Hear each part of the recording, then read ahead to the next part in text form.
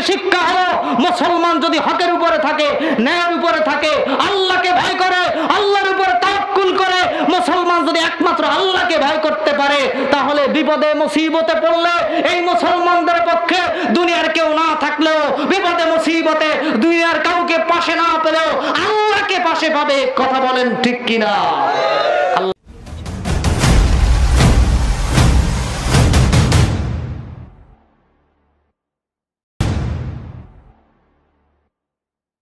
হাজরাতে আবু বকর রাদি আল্লাহ তালানহু তিনি দাওয়াত দিয়েছেন ফিনহাসকে ফিনহাজের উপাসনালয় দিয়ে যাচ্ছিলেন একজন অমুসলিম। তার উপাসনালয়ের কাছ থেকে যাচ্ছেন। তিনি দাওয়াত দিলেন ফিনহাস তুমি তো আসমানি কিতাব পড়েছো সেই কিতাবের ভিতরে তো আমার নবীর নাম আসছে, আমার নবীর প্রশংসা আসছে, আমার নবীর উম্মতের প্রশংসা সেই তাওরাত জবুর ইনজিল কিতাবের ভিতরে আসছে।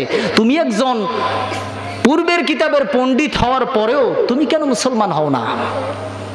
আমার নবী এমন একজন মহানবী, এমন একজন বিশ্বনবী, যার প্রশংসা শুধু কোরআনের ভিতরেই না, যার প্রশংসা ছিল তাওরাত কিতাবে, ইনজিল কিতাবে, জবুর কিতাবে, অন্যান্য কিতাবের ভিতরে। জোরে বলেন, আল্লাহ আল্লাহ কোরআনে বলেন মুহাম্মাদুর রাসূলুল্লাহি ওয়াল্লাযীনা মাআহু আশিদ্দাউ আলাল কুফফারি রুহামাউ বাইনাহুম তারাহুম রুকআন সুজ্জাদান ইয়াবতাগুনা ফাদলাম মিনাল্লাহি ওয়া রিদওয়ানা সীমাহুম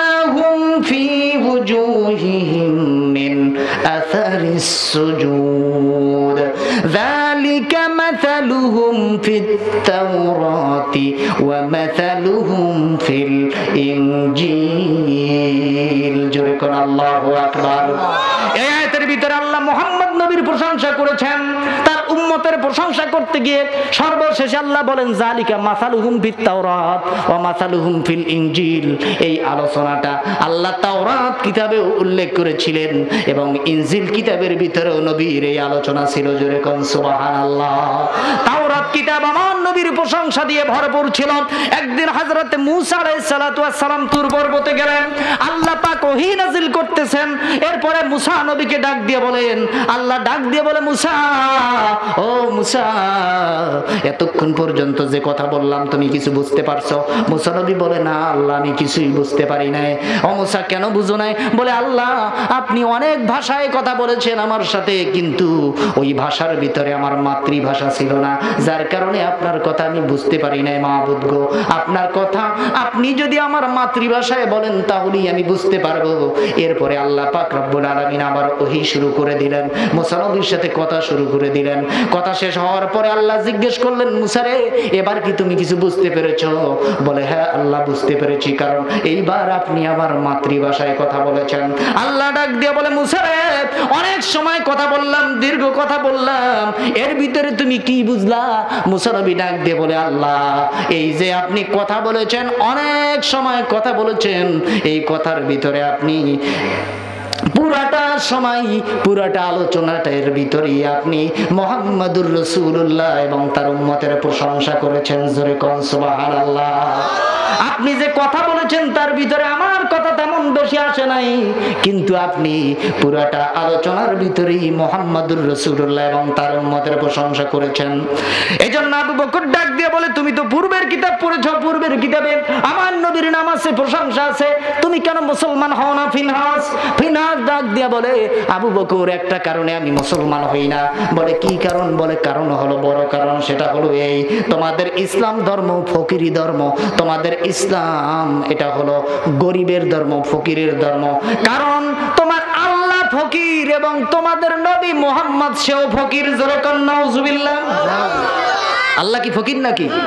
আল্লাহ বলে, আল্লাহু গনিয়ুন ওয়া আনতুমুল ফুকারা। আল্লাহ বলেন, আমি হচ্ছি ধনী, আমি হচ্ছি বেনিয়াস আর তোমরা সকলেই হচ্ছো ফকিরের গোষ্ঠী। আল্লাহ বলেন ও আন্তুমুল ফুকারা। ফকিরের বহু বচন হলো ফুকারা। আল্লাহ বলে আন্তুম। আন্তুম শব্দের অর্থ হলো তোমরা, আর ফুকারা মানে ফকির। তোমরা ফকিরের গোষ্ঠী ফকির, আর আমি আল্লাহ বেনিয়াস আমি গনি। অমুখাপে কি হাজরাতে আবু বকরকে বলতেছে যে, তোমাদের ইসলাম ধর্ম এটা ফকিরের ধর্ম। তোমার আল্লাহ ফকির, তোমার নবী ফকির। আবু বকরের মেজাজ গরম হয়ে গেছে। কেন তুমি ইসলামকে ফকির বললা? আল্লাহকে কেন ফকির বললা? নবীকে কেন ফকির বললা? কারণ কি? বলে, দলিল দলিল আছে আমার কাছে। কিসের দলিল? কোরআন থেকে দলিল দিচ্ছি। এবার ফিনহাস, সে কোরআন থেকে দলিল দিচ্ছে। আল্লাহ পাক বলেছেন, ওয়া আকরিদুল্লাহ করদান হাসানা। তোমরা আল্লাহর রাস্তায় কর্জে হাসানা দান করো, ধার দাও, ঋণ দাও। আল্লাহর রাস্তায় তোমরা দান করো। তাহলে আমি আল্লাহ পাক পরকালে তোমাদেরকে দান করব। ওই তোমরা যেটা দান করবা, সেটা আমি সাত গুণ থেকে দশ গুণ থেকে শুরু করে সাতশো গুণ পর্যন্ত বাড়াইয়ে দেব।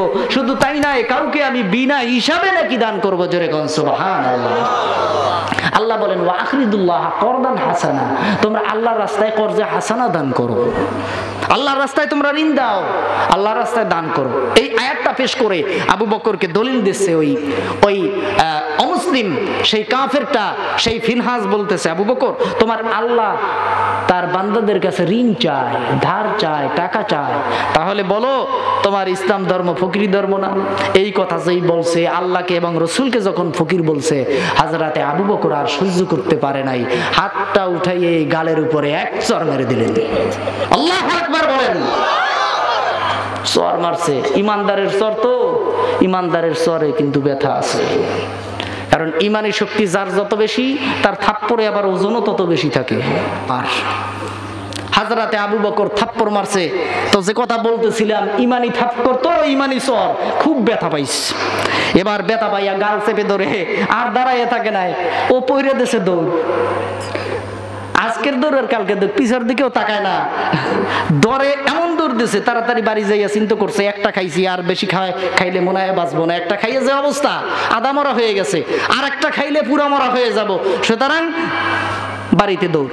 দৌড়ে দৌড়ে ব্যথা টাতা যখন কমছে, গাল টাল ফুলে উঠছে এরকম পুরা গাল নিয়ে আল্লাহ নবীর কাছে আসছে, পালাইয়া পালাইয়া আসছে।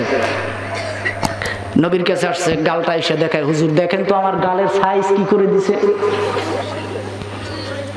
গাল এরকম ফুলে উঠছে। হুজুর দেখেন, আপনার আবু বকর আমার গালটাকে একেবারে মিষ্টি কুমড়োর মতো গোল বানাই দিচ্ছে। হুজুর, আপনি এখন বিচার করেন। আল্লাহ নবী বলেন, আবু বকর তোমার চর মারছে, এটা হতে পারে না আমার বিশ্বাস হয় না। কারণ আবু বকর হলো ঠান্ডা মানুষ, ভদ্র স্বভাবের মানুষ। আর ওমর হইল জালালি মেজাজের মানুষ। হাজরাতে ওমর থাপড়াইতে পারে। কারণ শয়তান যারে ভয় পায় মেজাজ গরম। নবীর কাছে বিচার নিতে আসছে। কাফের পক্ষে নবী রায় দিছে, সত্য রায় দিছে। পরে সানি করাবার জন্য ওমরের কাছে গেছে। সানি করাবার জন্য। তখন অমুসলিম বলতেছে ওমর আপনি যে বিচার করবেন, আল্লাহ নবী কিন্তু এর বিচার করে দিছে। আল্লাহ নবী আমার পক্ষে রায় দিয়েছেন। হাজরত ওমর চিন্তা করছে, ও মুসলমান তুমি তুমি মুসলমান দাবি করো, আর আল্লাহ নবীর রায় তুমি মানো নাই। ইহুদির পক্ষে রায় গেছে, এই জন্য তুমি আমার কাছে সানি করাইতে পারছ নবীর রায় তোমার পছন্দ হয় না, দাঁড়াও, বিচার করতেছি খারাপ ওই জায়গায়। মুসলমান খুব ফুইলে খারাই আছে, চিন্তা করতেছে, আরে ওমর আইসা আমার পক্ষে রায় দিবে। উনি তরবারি নিয়ে আইসে এক কোপ গরদানটা ফালাইয়া দিয়া তারপরে বলতেছে আল্লাহ নবীর বিচার যার পছন্দ হয় না, তার বিচার অমর এইভাবে করে। কোপটা মাইরা দেখাই দিয়েছেন যে এইভাবে অমর বিচার করে।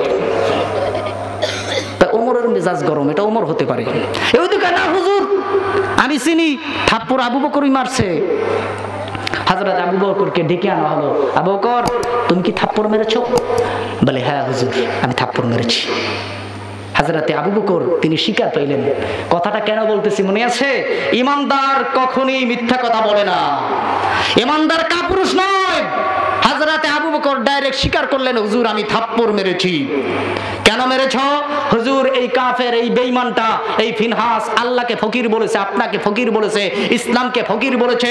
আমি আবু বকরের ব্যক্তিগত, আমার ব্যক্তিগত আমাকে গালি দিলে, আমি আবু বকরকে গালি দিলে আমি মেনে নিতাম। কিন্তু ইসলামকে নিয়ে, আল্লাহকে নিয়ে, আপনাকে নিয়ে কথা বললে আমি আবু বকর সহ্য করতে পারি না। যেহেতু আপনাকে নিয়ে কথা বলেছে, আল্লাহকে নিয়ে কথা বলেছে, আমি জীবন থাকতে আমার আমি এটা মেনে নিতে পারি না এ নবী এই জন্য আমি প্রতিবাদ করেছি। আল্লাহ আকবর বলেন।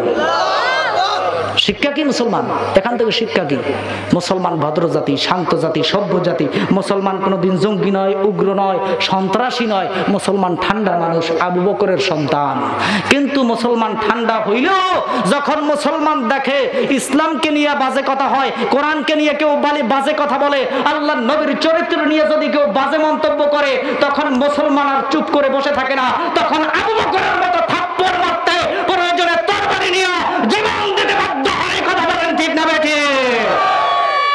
মুসলমান সভ্য জাতি, কিন্তু প্রয়োজনে তারা লাঠিও হাতে নিতে পারে, তরবারিও নিতে পারে। ইসলামের বিপক্ষে কথা বললে তখন মুসলমান ছাড় দেয় না। আমার নবীকে নিয়ে কি গালি দিলে? আমার বিশ্ব নবী! যে মুসলমানদের জীবনের চেয়ে বেশি প্রিয় আর আনফুসিহিম। আল্লাহ বলেন, আমার নবী তোমাদের জানের চেয়েও বেশি নিকটে, তোমাদের জীবনের চেয়েও বেশি মহব্বত করতে হবে আমার নবীকে। নবী বলেন, তোমার জীবন থেকে যতক্ষণ পর্যন্ত আমাকে বেশি মহব্বত না করবে, ততক্ষণ পর্যন্ত তোমরা ইমানদার হতে পারবে না। সেই বিশ্ব নবীকে নিয়ে বাজে মন্তব্য করলে আল্লাহর নবীর যারা সত্যিকার উম্মত, তারা কোনোদিন চুপ করে থাকতে পারে না। কথা বলেন ঠিক কিনা?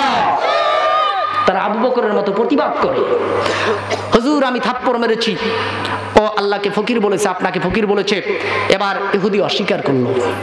বলল, হুজুর, আমি কথা বলি নাই। এখান থেকে একটি শিক্ষা হলো, কাফের বেঈমানরা কথায় কথায় মিথ্যা কথা বলে। কাফের বেঈমানদার স্বভাব মিথ্যা বলা আর ইমানদারের স্বভাব এতেকালের পূর্ব পর্যন্ত তারা যেই হয় না কেন, যা কিছু হোক না কেন, তার বিপক্ষে রায় যাক না কেন তারপরে তারা কোনোদিন মিথ্যা কথা বলে না। কথা বলেন ঠিক কিনা মুসলমান কোনোদিন মিথ্যা কথা বলে না আর কাফের বেঈমানেরা এরা কোনোদিন সত্য কথা বলে না, মিথ্যা কথা বলে। এদের স্বভাবই মিথ্যা কথা বলা। যারা বেশি বেশি মিথ্যা কথা বলে, মনে করবেন এদের রক্তের ভিতরে কাফের বেঈমানদের রক্ত আছে। ভাইরা আমার হাজরাতে আবু বকর বললেন, আমি থাপ্পড় মারছি। ফিনহাজ বলতেছে, হুজুর, আমাকে খালি খালি থাপ্পড় মারছে। কারণ আমি আল্লাহকে এবং আপনাকে আমি ফকির বলি নাই, হুজুর। আমি সত্যি কথা বলতেছি, আমি ফকির বলি নাই। তখন একেবারে বিশাল বুজুর্গ সাজছে মানে সত্য মিথ্যাটাকে একেবারে পুরো সত্য বানায় ফেলাইছে।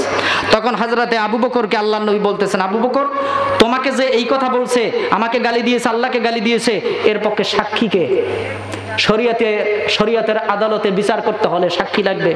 তিন চারজন সাক্ষী উপস্থিত করো।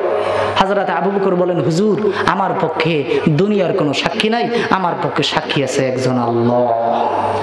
আমার পক্ষে সাক্ষী কে? আরও জোরে বলেন কে? আল্লাহ নবী বলেন, যেহেতু দুনিয়ার আদালতে বিচার করতেছি সাক্ষী মানছে আল্লাহকে। আল্লাহ সরাসরি অহিনাজিল না করলে আল্লাহর সাক্ষী দিয়া বিচার হবে না। যেহেতু দুনিয়ার কোনো সাক্ষী তোমার পক্ষে নাই, তাহলে এখন আমার সিদ্ধান্ত হলো, তুমি যেহেতু সাক্ষী উপস্থিত করতে পারো নাই, কেসাস, কুতিবা আলাইকুমুল কিসাস, আল্লাহ কেসাসের বিধান কায়েম করেছেন যে কেউ যদি আপনাকে একটা থাপ্পড় মারে, আপনিও তাকে একটা থাপ্পড় মারতে পারবেন, এটা আপনার অধিকার। আপনাকে কেউ যদি, আপনাকে কেউ যদি নির্দোষ হওয়ার পরেও খালি খালি বিনা অপরাধে আপনাকে যদি কেউ একটা থাপ্পড় মারে তাহলে আপনি ওই রকম একটা থাপ্পড় মারার অধিকার তাকে রাখেন। আপনার যদি কেউ হাত কেটে দেয় বিনা অপরাধে, আপনিও তার হাত কাটার অধিকার রাখেন। এটা ইসলামের বিধান করা বলেন, ঠিক কিনা? এটা হলো কেসাস। নবী বললেন, যেহেতু আল্লাহ কেসাসের বিধান দিয়েছেন, আবু বকর, তুমি যেহেতু থাপ্পড় মেরেছো, পক্ষে কোনো সাক্ষী আনতে পারো নাই? এখন আমার সিদ্ধান্ত হলো ফেনহাস তোমাকে ওই রকম একটা থাপ্পড় দিবে, যেহেতু তোমার সাক্ষী নাই, এখন আমি কেসাস করব। দেখছেন? আল্লাহ নবী এবং শ্বশুর কত মহব্বতের সাহাবি মহব্বতের সাহাবি হওয়ার পরেও সেই সাহাবির বিপক্ষে আল্লাহ নবী রায় দিয়ে দিলেন। বললেন, আবু বকর, তুমি আমার সাহাবি, তুমি মিথ্যা কথা বলো না। আল্লাহকে সাক্ষী রাখছো, সবই ঠিক, কিন্তু শরীয়তের আদালতে আমি এটা এটা দিয়ে রায় দিতে পারি না। আল্লাহ নবী এবার সিদ্ধান্ত দিলেন, হাজরাতে আবু বকরের বিপক্ষে রায় দিয়ে দিলেন। এবার এহুদিকে ওই যে ফিনহাসকে বললেন যে, তুমি আবু বকরকে তোমাকে যেরকম একটা থাপ্পড় মারছে ওই রকম ওই সাইজের, ওই ওজনের একটা সর তুমি আবু বকরকে মারো। আল্লাহ নবী যখন এই রায় দিয়ে দিলেন ইমানদারদের পক্ষে দুনিয়ার কেউ না থাকলেও আল্লাহ পাক ইমানদারের পক্ষে থাকেন। একটা আয়াত পড়েছিলাম, ওয়াতাওয়াক্কালু আলাল্লাহ ওয়া কাফা বিল্লাহি ওয়াকিলা। তোমরা যদি আল্লাহর উপরে ভরসা করো, আল্লাহ পাক স্বয়ং তোমার অভিভাবক হয়ে যাবেন, আল্লাহ রব্বুল আলামিন তোমার পক্ষে হয়ে যাবেন। যখন আবু বকরের বিপক্ষে রায় গেলাম নবীর রায় পেয়ে আবু বকরকে যখন থাপ্পড় মারার জন্য অগ্রসর হলো, আল্লাহ পাক সাথে সাথে জিব্রাইলকে পাঠায় দিলেন। পাঠায় দিয়া আয়াত নাজিল করে দিলেন। আল্লাহ পাক সাথে সাথে বিশ্ব নবীকে জানায় দিলেন, লাকাদ সামিআ আল্লাহু কাওলাল্লাযীনা ক্বালু, ইন্নাল্লাহা ফাকীরু ওয়া নাহনু আগনিয়া আল্লাহ পাক দুইটা তাকিদ দিলেন দুইটা তাকিদ দিলেন একটা হলো আমার একটা কদ আল্লাহ বলেন লাকাদ সামিআ আল্লাহ অবশ্যই নিশ্চয়ই আমি আল্লাহ শুনেছি। আমি আল্লাহ ইহুদির ওই বেঈমান ফিনহাসের কথা আমি শুনেছি। ওই বেঈমান বলেছে, ইন্নাল্লাহ ফকির। আল্লাহ পাক হলো ফকির। ওয়া নাহনু আগনিয়া। আর আমরা কাফের বেঈমান যারা আছি, আমরা হলাম ধনী। আর আল্লাহ হলো ফকির। এই কথা বলেছে অনবী। ওই ফিনহাস মিথ্যা কথা বলেছে।